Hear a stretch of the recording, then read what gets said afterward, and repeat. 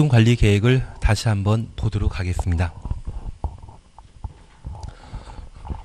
우리가 도시군 관리 계획과 관련되어서는 개념에서 개발 정비 보존을 위한 집행 계획이라는 것 확인하셨고 이 도시군 관리 계획으로 결정할 수 있는 것은 총 몇 개이다?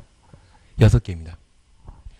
그리고 이 도시군 관리 계획을 수립하는 대상은 도시군을 대상으로 하는 행정 계획이기 때문에 특광시군을 대상으로 하고 있습니다.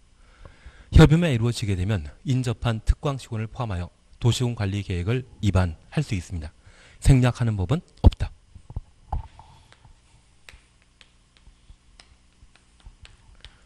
그리고 이 도시군 관리 계획을 입안하는 자와 입안된 도시관리, 도시군 관리 계획은 국가 계획이나 광역도시 계획, 도시군 기본 계획에 부합하는지 확인하는 결정 절차로 나뉘게 됩니다. 여기 입안권자는 원칙적으로 도시군을 책임지고 있는 특별시장, 광역시장, 시장 군수가 도시군 관리 계획을 입안하며 예외적으로 국도가 도시군 관리 계획을 입안할 수 있습니다. 여기 국장과 관련되어서는 국가계획과 관련된 도시군 관리계획 입안 시에는 국토교통부 장관이 직접 입안할 수 있다.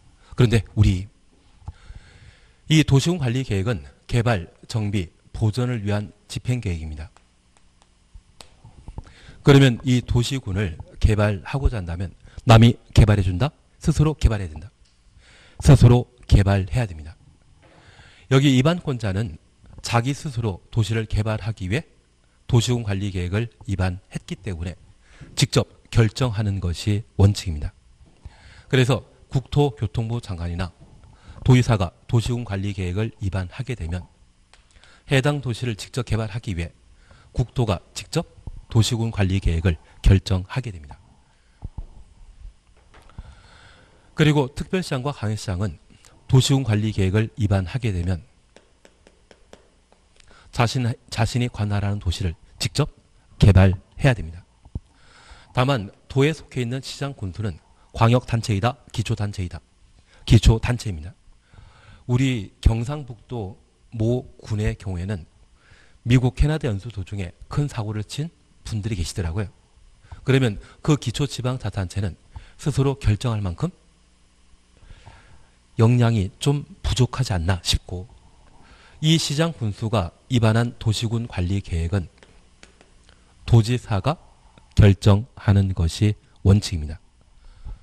다만 도에 속해 있는 도시 중에 인구 50만 이상인 도시를 대도시라 하고 이 대도시장의 경우에는 기초 단체인데도 불구하고 직접 결정할 수 있는데 우리 한 집안에 한 집안에 광역 단체장이 부모라고 하면 기초 단체장은 자녀분에 해당되는데 그 자녀들 중에 미성년자인 분도 계시고 성년자로서 자기 일 잘하면서 부모와 함께 거주하는 경우가 있습니다. 이번에 겨울에 취미 생활에 스키 타러 가겠다고 자기가 번 돈으로 가겠다고 하면 그것 뜯어 말릴 수 있다 없다 없습니다. 그래서 이 대도시장의 경우에는 성년인 자제에 해당되는 것으로 자기 밥벌이 잘하고 있는 자녀분이라 생각하면 자신이 계획한 것, 자신이 직접 결정하는 것도 충분히 가능할 겁니다. 그래서 이 도시군 관리 계획은 국토교통부 장관, 특별시장, 광시장, 도의사, 시도의사, 그리고 대도시장이 도시군 관리 계획을 결정할 수 있는데 이 도시군 관리 계획은 원칙적으로 시도지사, 대도시장이 결정할 수 있고 예외적으로 국토교통부 장관이 도시군 관리 계획을 결정할 수 있습니다. 다만 우리 이들이 결정할 수 있는 것은 도시군 관리 계획을 결정할 수 있는 여섯 가지 전부를 이들이 결정할 수 있는데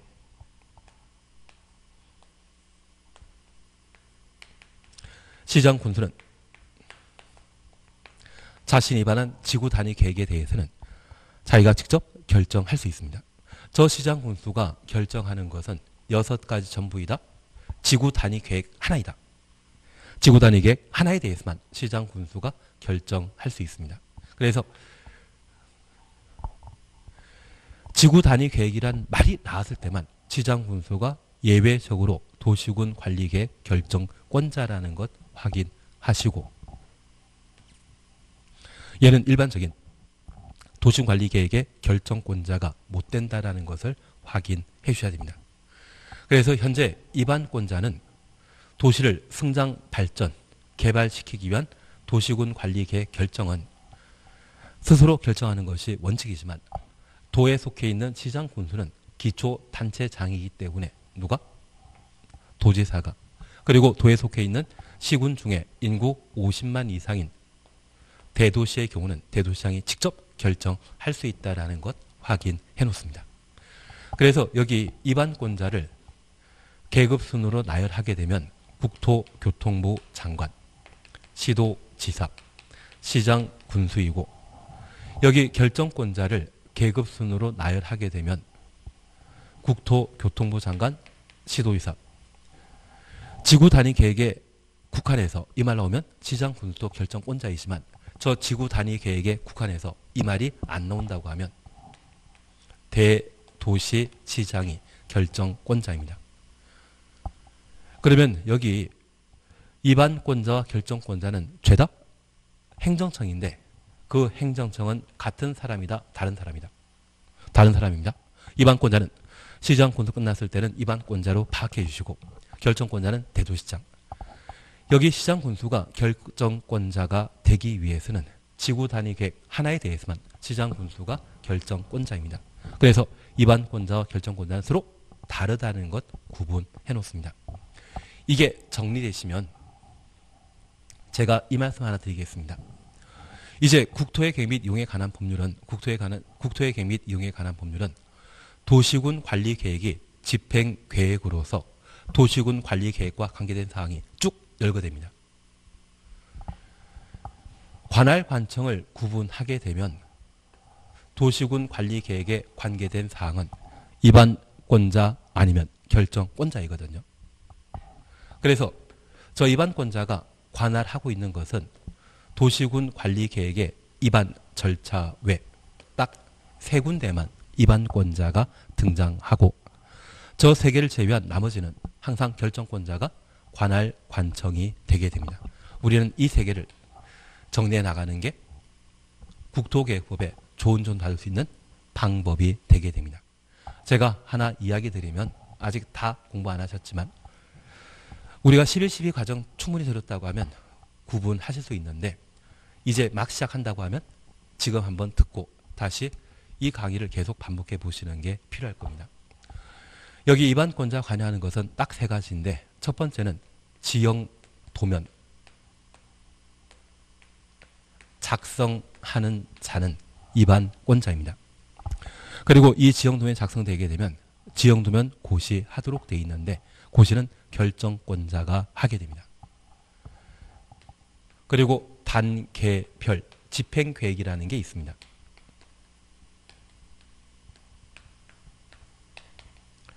저 단계별 집행 계획을 수립하는 자, 입안권자입니다. 그리고 마지막으로 도시군 계획 시설 사업을 시행하는 자, 입안권자입니다. 그래서 이 세 가지에 대해서는 관할 관청이 누구이다? 입안권자이고 이 세 가지 제외한 나머지 관할 관청은 항상 결정권자라고 양분하시면 됩니다. 다만 얘는 언제까지 정리하면 된다? 국토계획법 충분히 끝나고 두 번째, 세 번째 돌 때 그때 입안권자가 관할 관청인 것 세 가지를 그때까지 정리하시면 충분합니다. 그래서 지금은 기본 과정에서 모든 내용을 다루다 보니 여기까지는 하고 있는데 이게 단계별로 했을 때는 한 5월달, 6월달 정도에 정리할 것을 지금 1, 2, 3 과정에 하고 있습니다. 이 과정을 좀 많이 보시면서 한 세 번째 돌 때 그때까지 정리가 된다고 하면 충분하지 않나 싶습니다. 그리고 또 예외에 관한 사항을 함께 보셔야 됩니다. 여기 도시군 관리 계획 입안, 입안은 수립과 같은 의미입니다. 결정, 승인과 같은 말입니다. 그러면 이 도시군 관리 계획을 수립하는 것을 입안, 결정이라 표현하는데 이를 관할하고 있는 자는 행정청만 하게 됩니다. 그러면 내가 살고 있는 도시에 내가 10년, 20년 살았을 때 도시군 관리 계획을 입안하거나 결정할 수 있다, 없다? 없습니다. 시민은, 주민들은 도시군 관리 계획의 입안권자, 결정권자 아닙니다. 입안권자, 결정권자는 오직 누구만? 행정청만. 그래서 주민 이해관계인은 도시의 성장 발전을 도모하기 위해 입안하고 싶지만 입안권이 없습니다. 이들은 오직 뭐만? 제안만 할 수 있습니다. 그래서 이 제안이란 말은 행정청 아닌 자가 행정청에게 부탁할 때 제안이란 말을 사용하게 되는데 우리가 공법을 공부하다 보면 이 공법에는 주어, 주체에 관한 사항을 구분하는 것을 시험에 내게 됩니다. 두 가지 방법으로 제시하게 되는데 크게는 행정청과 비행정청을 구분하는 방법이 있습니다. 행정청은 중앙행정기관장 이들을 국가라 하고 광역단체와 기초단체를 지방자치단체라 표현합니다. 저 국가 지방자치단체 뺀 나머지는 모두 비행정청입니다. 그래서 행정청과 비행정청 구분하는 방법이 있고 여기 비행정청은 주택공사 등의 국토교통부 산하에 만든 정부 투자 기관 중앙공사라 하겠습니다. 그리고 서울의 서울도시개발공사, 지방의 다양한 지방공사가 있거든요. 그래서 중앙 공사에 해당되는 정부 투자 기관과 지방 공사가 있고 비행정청에는 현대나 삼성 같은 민간이 있습니다. 그런데 이 공사는 민간과 달리 공익 사업하는 자인데 행정청인 국가 지방 자치단체도 공익 사업을 하게 됩니다. 그래서 국가 지방 자치단체 공사 이들은 공익 사업을 시행하는 자로서 공공 또는 공적 주체란 말을 사용하게 되고 이 공적 주체와 비교되는 것이 사익 사업을 추구하게 되는 민간이 되게 됩니다. 여기 공공은 신뢰할 수 있는 자이기 때문에 일정한 책임이 발생했을 때 이를 보장하기 위한 돈 낼 필요 없습니다. 그래서 만약 이행 보증금 등의 돈을 내라고 하면 이 돈을 내는 자는 공공이다 민간이다 민간만 돈을 내도록 되어 있습니다. 그래서 공법에는 행정청과 비행정청으로 구분하는 방법 하나와 국가 지방자단체 각종 공사 그리고 민간을 구분하는 방법이 있습니다. 국가 지방자단체 공사를 뭐라 표현한다? 공공, 공적 주체. 이런 돈 내는 법 없습니다.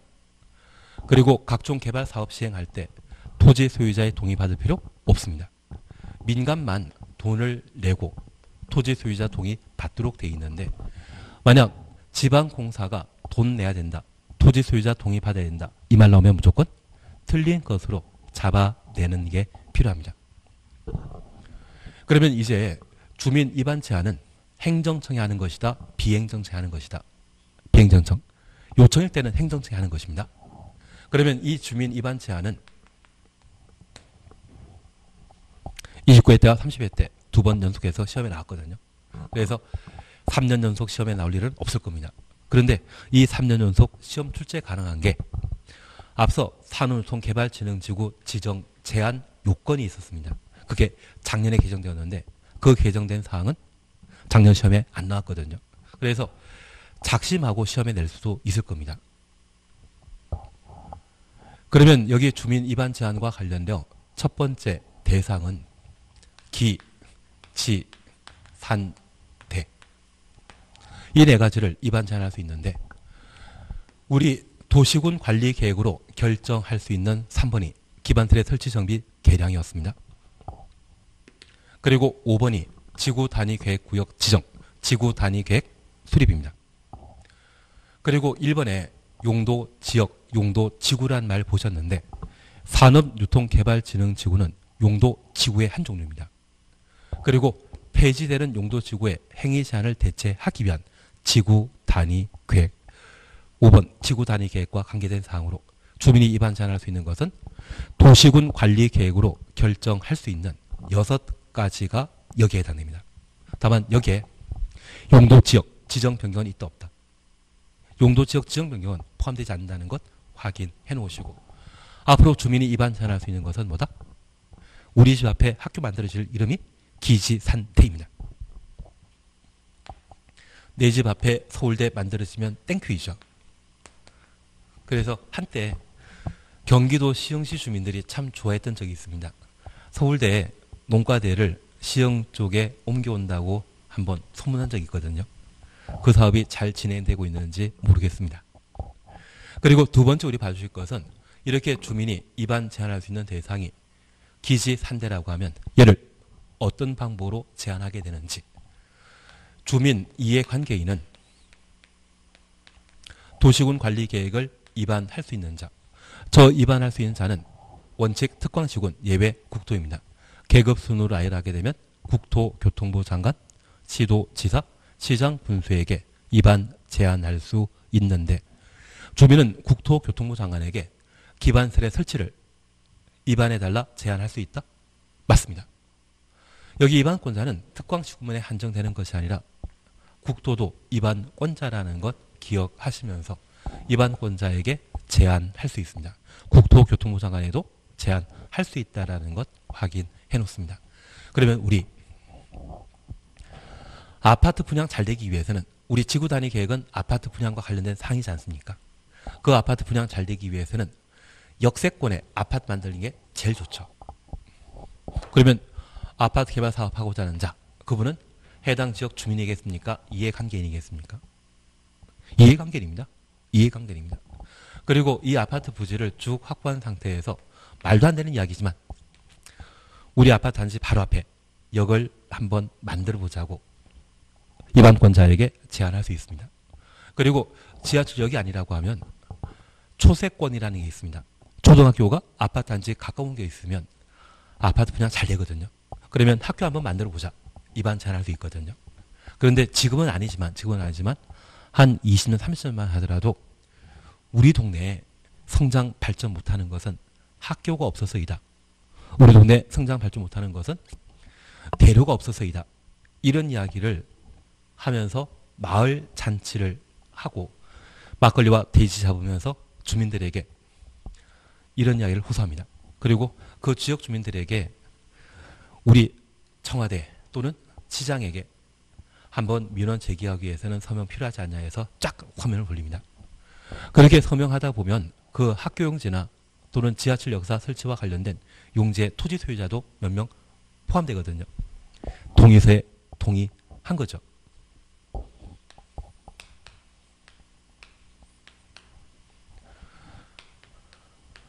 우리 기지 산대와 관련되어 기는 면적 5분의 4 이상의 토지 소유자 동의 필요하고 지, 산, 대, 세 개에 대해서는 그 부지 면적의 얼마? 3분의 2 이상의 동의 받도록 되어 있습니다. 나중에 이렇게 동의하고 나면 오늘날 갑자기 도시군 관리 계획이 결정되고 나면 학교 용지랍시고 또는 도로 용지랍시고 사업 시행자가 땅을 강제 수용하겠다고 나오는 경우가 있습니다. 나는 막걸리 한 잔에 돼지고기 한두 점 먹은 게 다인데 갑자기 땅을 강제 수용당하는 경우가 아주 옛날에 있었거든요. 앞으로 어디 서명하자고 하면 쉽게 서명한다? 네, 그래도 서명할 때는 서명하셔야 되죠. 하여튼 그런 일들이 예전에는 좀 많이 당하신 적도 있습니다. 그래서 이런 요건을 갖추게 되면 토지 소유자의 충분한 동의를 받은 것으로서 이제 입안 제한할 수 있습니다. 특별히 기재산대와 관련되어 기는 면적 5분의 4, 지산대는 면적 3분의 2 이상의 동의 받도록 되어 있습니다. 그런데 이런 동의 요건 중에 산업, 유통, 개발, 진흥, 지구의 경우에는 면적 3분의 2 이상의 토지 소유자 동의 당연히 받아야 되는데 이거 산업단지 만드는 곳이죠. 그 부지 면적은 만 이상 3만 제곱미터 미만 1건 이거 만들 수 있는 용도 지역은 자, 개, 생일권, 자연 녹지 지역과 계획 관리 지역, 생산 관리 지역일 것. 부득이한 경우에는 보전 관리 지역과 농림 지역을 포함시키고 있습니다. 다만 저 산업송 개발진흥지구에 자연 환경 보전 지역 들어가지 않는다. 여기 용도 지역이 다 끝나야만 다시 한번 정리할 수 있는 내용이기 때문에 지금 얘는 우리가 일반적인 수업 진도에 따라 공부할 부분이다. 천천히 공부할 부분이다. 천천히 공부할 부분입니다. 여기 도시군 관리 계획을 입안하고 결정하는 자는 행정청이라는 것 먼저 확보하게 잡히시고 행정청 아닌 자는 입안할 수는 없지만 입안은 못하지만 한번 해달라 부탁을 할 수 있거든요. 그래서 이 제안은 도시군 관리 계획의 입안권자 결정권자가 확고하게 정된 이후에 정리할 내용이지 막할 부분이 아닙니다. 우리 시험은 원칙이 나오겠습니까? 예외가 나오겠습니까? 예외가. 그래서 여기 주민 위반 제한은 29회 때와 30회 때 연속해서 두 번 출제했던 것은 예외에 해당되는 파트이기 때문에 시험에 나왔던 내용입니다. 그래서 아무리 지금 이 진도에 따라 공부한다 해서 얘를 한 방에 정리하겠다. 그건 괜찮은데 안 된다고 하면 잘 안 된다고 하면 얘는 국토개혁법 전반을 다 정리한 이후에 다시 들어올 부분이지 처음부터 접근하는 파트는 아니라는 것 그것 하나만 구분해 놓습니다. 그래서 이 부분이 명확하게 정리되지 않더라도 그것은 당연한 것이지 당연한 것이지 내 능력이 부족하다 그 생각하지 마십시오. 이거 정리 못하는 게 당연한 겁니다. 그러면 이런 요건을 갖추어 이런 요건을 갖춰 도시군 관리 계획을 입안 제한하게 되면 제한 받은 자는 며칠 근데 우리는 저 숫자는 잘 외우시더라고요. 근데 처음에는 숫자 외우는 게 잘 되는 것처럼 보이지만 이게 누적되면 얘가 국토계획법에 나왔던 숫자인지 개발법 정비법에 나왔던 숫자인지 착각하는 경우가 있습니다. 그래서 그 착각을 방지하기 위해서는 지금은 숫자 보는 것도 아닙니다. 지금은 얘는 나중에 우리가 7, 8월 달에도 이 과정을 동영상으로 계속 볼 거라 생각하고 해 나가는 중이기 때문에 그냥 정리한 것이지 지금 1월 달에 이 수사까지 다 외운다? 그분 보수 쪽으로는 우땡땡이란 분 그리고 진보 쪽으로는 조땡이란 분 머리 정도 된다면 한 방에 정리할 수 있지만 그게 안 된다고 하면 이 사람들 별개 사람들이거든요. 그래서 이분들은 내가 꼭 닮을 사람 아닙니다. 그래서 이분들은 그냥 배제하고 이분들 말고 그 밑에 있는 분들은 우리가 실력 똑같거든요. 내가 모르면 이분들 바로 밑에 분들은 같이 모르는 생각하시고 얘는 그냥 천천히 나중에 정리하면 된다. 그 생각해 주시면 됩니다. 그리고 한 번만 30일 범위 내 기간 연장할 수 있습니다. 그러면 이런 주민 입안 제한에 따라 도시군 관리 계획을 입안하고 결정하게 되면 한번 도시군 관리 계획을 입안 결정하는데 드는 비용이 한 5억에서 10억 정도입니다. 주민이 입안 제한에서 원래 안 할 것 했다고 하면 비용 부담 발생하지 않겠습니까?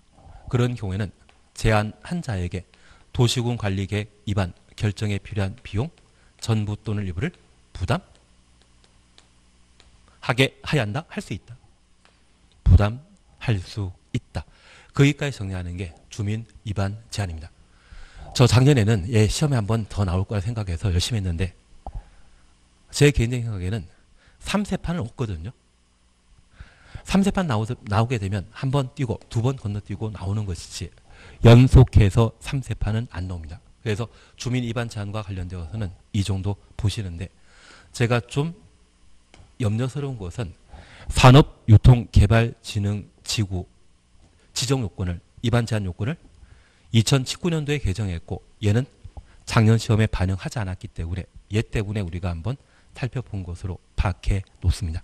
그래서 우리는 절차와 관련되어 입안 결정은 누가 한다? 행정청, 비행정청. 행정청이 하는 것이고 제한은 비행정청이 하게 됩니다. 그래서 가끔 막걸리에 돼지 한 마리 잡아놓고 주민 동의 받는 분들이 계시거든요. 그럴 때는 함부로 술목감으로 쓰면 안 된다. 그렇게만 한번 경험하시게 되면 내 땅 강제로 수용당하는 일을 최대한 피하지 않을까 싶습니다. 그러면 여기 입안권자 결정권자 정리하셨다고 하면 이제 구체적인 도시군 관리 계획의 입안 결정에 관한 절차를 함께 살펴놓습니다. 그러면 우리 도시군 기본계획 수립한다를 이 법에서는 뭐라 표현한다? 입안이라 하고 승인한다는 것을 국토계획법의 도시군 관리계획에서는 뭐라 표현한다? 결정하도록 되어 있습니다. 여기 도시군 관리계획도 토지 행정계획에 해당되기 때문에 제일 먼저 실시하는 것은 기초조사입니다. 그리고 이 도시군 관리계획은 일반 시민에게 구속력 발생하기 때문에 주민 의견 청취해야 되는데 주민 의견 청취 방법은 공청회의다 공람이다. 공람 절차입니다. 국토계획법상 공청회 하는 것은 딱 두 군데입니다. 광역도시계획과 도시군 기본계획 수립 시에만 공청회 하고 나머지 행정계획 수립 시에는 뭐한다? 공람에 관한 절차를 거칩니다. 그래서 대한민국의 모든 권력은 국민에게부터 나오도록 되어 있습니다. 그래서 주민 의견 청취해야 되고 그 방법은 공람이라는 것 기억해 놓습니다. 공고가 중요합니까? 열람이 중요합니까? 열람이 중요하기 때문에 열람 기간은 14일 이상입니다. 그리고 이번에 학교나 도로 새로 만들고자 한다면 해당 지방자탄제에서 예산 조달 가능한지 확인코자 지방의회 의견 청취하고 도시군 관리 계획을 입안하여야 합니다. 입안한 도시군 관리 계획은 국가계획 등에 부합하는지 확인코자 결정 신청하게 되면 결정권자는 협의, 심의에 관한 절차를 거쳐 도시군 관리 계획을 결정하게 되는데 현재 결정권자는 국토교통부 장관, 원칙적인 결정권자는 시도의사, 대도시장, 지구 단위 계획에 국한해서만 시장 분수가 결정권자입니다. 그러면 이 결정권자가 중앙행정기관장이라면 관계 중앙행정기관장과 협의해야 되고 심의 도시계획위원회 심의 거쳐야 되는데 그때 도시계획위원회는 지방입니까? 중앙입니까? 중앙. 그리고 지방자탄시장인 시의사 대도시장이 도시군 관리 계획을 결정하고자 하면 관계 행정기관 장과의 협의, 지방 도시계획위원회 심의 거쳐 도시군 관리 계획을 결정하도록 되어 있습니다. 결정한 도시군 관리 계획에 대해서는 모든 사람들이 알 수 있도록 널리 고시하게 됩니다. 그런데 우리 민법 공부하시면서 나는 법률 행위와 준법률 행위 잘 구분하고 있다? 법률 행위는 의사 표시를 요건하는 반면 준법률 행위는 의사 표시 요건하지 않습니다. 그러면 이 도시군 관리 계획을 결정 고시하게 되면 결정은 법률 행위의 성격 가지는 행정 처분 행정 행위이고 고시는 준 법률 행위의 성격을 가집니다. 결정된 것을 대외적으로 알려주는 것이기 때문에 이 고시에는 의사표시 담긴다 빠진다. 결정과 고시는 같은 개념 아니라는 것 다시 한번 확인하십니다. 대신 이 도시군 관리 계획은 시민 삶에 큰 영향을 끼치기 때문에 모든 사람이 알수 있도록 널리 고시해야 되죠. 그런데 이 고시는 신문에 기사 하나 내보내는 것이거든요. 이번에 고속도로 새로 돌린다. 또는 제주도에 비행장 하나 만들어진다. 말로만 하면 그 위치가 정확하게 어딘지 모르거든요. 그래서 이 도시군 관리 계획 결정 고시 되게 되면 바로 즉시 지형 도면이라는 것을 만들고 이 지형 도면을 따로 고시하도록 되어 있습니다. 그러면 이번에 도시군 관리 계획 결정된 것을 지용도에 표기한 것을 지형 도면이라고 이걸 보여주게 되면 어디에 비행장이 만들어지고 어디부터 어디까지 지하철 새로 뚫리는지 그리고 지하철 역사가 어디인지 파악할 수 있거든요.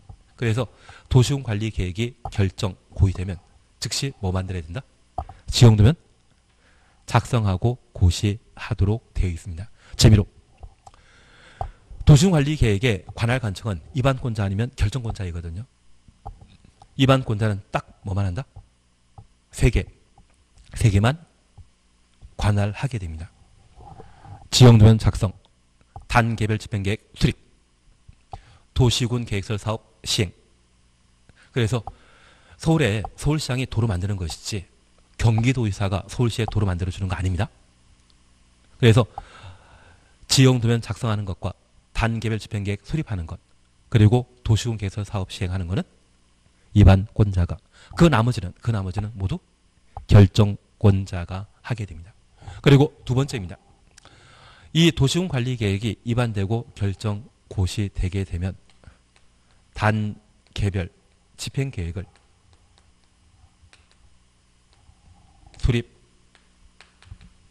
수립합니다. 이 단계별 집행 계획은 도시군 관리 계획으로 기반설의 설치 정비 계량을 결정하면 도시군 계획 시설이 결정된 것인데 그걸 예산 확보해야만 가능하거든요. 그러면 3년 기준으로 3년 내 예산 조달 가능한 도시군 계획설 사업은 1단계 집행계획에 포함하고 3년 이후 언제 예산 확보될지 모르는 그런 도시군 계획 사업은 2단계 집행계획에 반영하게 됩니다. 그래서 이 단계별 집행계획은 우리 용도 지역을 농림 지역에서 도시 지역 중에 상업적으로 변경되었다. 이걸 도시군 관리 결정하게 되면 예산 따로 필요하다 필요 없다. 필요 없습니다. 손가락질하면서 저 땅은 어제까지 농림 지역이었지만 오늘 이 순간부터 상업 지역이야. 이렇게 손가락질을 하면 바로 용도 지역 바뀌는 반면 학교나 도로 만들고자 한다면 땅을 강제 수용하기 위한 보상은 필요하고 해당 시설 만들기 위한 공사 비용도 필요하거든요. 그래서 그 돈 필요한 도시 군 계획 시설 사업이 결정 고시 되게 되면 단계별 집행 계획을 수립하여야 합니다. 이 단계별 집행 계획 수립하는 자 누구이다? 우리 이것 이해해 주십니다. 도시군 계획설 사업하는 자는 누구이다? 입안권자이고 저 입안권자가 시설 사업과 관련된 예산 확보 가능한지 판단할 수 있을 겁니다. 그래서 이 집행 계획 수립하는 자는 바로 입안권자라는 것을 파악해 놓습니다. 이게 도시군 관리 계획과 관련된 구체 절차인데 입안하기 위한 사전 절차 기초조사 국남 지방의회 의견 정치 누가 진행한다? 입안권자가 협의 심의에 관한 절차는 누가 진행한다? 결정권자가 그래서 도시군 관리 계획과 관련된 기본 절차를 저렇게 살펴놓는 겁니다. 그러면 이걸 토대로 우리가 다시 한번 봐 놓습니다. 우리는 45페이지에 45페이지에 입안 범위와 관련되어 입안 어, 입안권자와 관련되어 원칙적인 입안권자는 특광시군이고 예외적인 입안권자는 국도라는 것 확인하셨습니다. 그리고 48페이지 보십니다. 입안 제한 찾으셨는데 입안 제한 별표 다시 한번 하나 해주십니다. 입안 제한 별표 하나 해주시고 여기 입안 제한은 입안 제한은 별표 될 정도라고 하면 열심히 공부해야 된다. 대충 해야 된다. 그래도 기본적으로 대상 절차는 아셔야 됩니다. 기지산대라는 말 기억해 주시는 것. 그리고 토지 소유자 동의 기준 무엇인 것. 그것까지는 해주셔야 됩니다. 그리고 한 장 넘기시면 한 장 넘기시면 50페이지에 기초조사 차셨죠. 그리고 동그라미 1번입니다. 광역도시계획의 기초조사 절차를 준용한다. 여기 준용한다는 말은 인용한다의 법률 표현입니다. 그래서 앞으로 준용이라는 말 보게 되면 인용한다. 그렇게 생각해 놓습니다. 그래서 기초조사는 광역도시계획 내용과 같다. 그렇게만 판단하시면 됩니다. 그리고 옆에 페이지에 동그라미 2번 환경성 금토화 토지 적성 평가 재취약성 분석 찾으셨죠. 국토교통부 장관 지도이사 시장군수 국토교통부 장관부터 분수까지 가로 해놓으시면 결정권자이다 입안권자이다. 시장 군수 끝나면 입안권자이고 대도시장으로 끝나게 되면 결정권자입니다. 그래서 입안한 자가 입안한 자가 기초 조사할 때 환 경성 검토와 토지 적성 평가 재취약성 분석 토제라 하겠습니다. 얘를 포함하여야 한다. 그러면 우리 도시군 관리 계획 구체적 절차와 관련되어 종류 구분하셨고 이 도시군 관리 계획 절차의 특이한 점을 우리가 살펴주셔야 됩니다. 옛 지도록 하겠습니다. 그 중에 첫 번째 우리가 보시는 게 바로 기초 조사입니다. 토지 행정 계획 수립할 땐 조사 측량이라는 것을 반드시 하도록 되어 있습니다. 그런데 이 기초조사는 광역 도시 계획의 기초 조사와 도시군 기본 계획의 기초조사, 도시군 관리 계획의 기초조사를 각각 두고 그 기초조사는 같아야 됩니다. 그런데 광역도시계획과 달리 도시군 기본계획 기초조사에는 토제, 토지 적성평가와 재지역성 분석을 포함하고 있습니다. 우리 토지 적성평가는 나는 고등학교 때 적성평가해 본 적 있다? 없다? 있습니다. 그리고 그 적성평가 결과 IQ도 나오고요. 내가 앞으로 어떤 방향 진출하게 되었을 때 성공할 수 있는지 그런 척도를 제시해 주는 것이 적성 평가입니다. 여기 광역도시 계획에는 토제 없이 기본 계획에만 토제를 두고 있는데 하나 이해하실 것이 있습니다. 저 광역도시 계획은 광역 시설을 체계적으로 정부에 하기 위해 투입하는 계획인데 저 광역 시설 정비란 말은 이것 개발한다는 것입니까? 개발 안 한다는 이야기입니까? 개발하겠다는 의미가 담겨 있습니다. 그러면 이 광역도시 계획은 광역시설 체계적 정비가 목적이고 그 용지는 무조건 개발해야 되거든요. 적성 평가할 필요 없습니다. 반면에 이 도시군 기본 계획은 도시군 기본 계획은 특광 시군이라고 하는 행정 관할 구역 전부가 도시군 기본 계획 수립 대상이고 서울 이야기 잠깐 드리면 서울 이야기 잠깐 드리면 서울이 정상적인 도시일 때 이야기입니다. 한가을 기준으로 잠실은 예전에 뽕밭으로 참 유명했던 곳입니다. 저희 아버님이 한양대 전기관 오셨거든요. 그러면 그 1960년 전후 60년 한 59년 58년부터 61년까지 그 당시에 이 뽕밭에는 진짜 일할 사람 별로 없었거든요. 그러면 강 건너서 여기 아르바이트하러 가셨습니다. 그리고 워낙 일을 잘하서 그러신지 저도 얼굴 보면 농사꾼처럼 좀 보이지 않습니까? 자기 땅 만평 내줄 테니까 같이 농사 짓자고 제안을 받으신 적이 있다고 합니다. 그때 그 제안만 받았다고 하면 저도 좀 인생이 달라지지 않을까 싶습니다. 잠실의 만평이면 만만치 않습니다. 그걸 포기하고 학교 선생 하시더라고요. 졸업해가. 그 당시 뭐 전기가 나와도 그 당시에는 대한민국 공장 별로 볼 게 없다 보니 그냥 고등학교 수학 선생하고 말아봐셨는데 그때 인생만 잘 선택하셨으면 저도 달라지지 않았을까 싶습니다. 그러면 이 뽕밭이 있던 잠실 땅은 제2 롯데월드라고 하는 초고층 건물 건축하는 부지로 적합하다?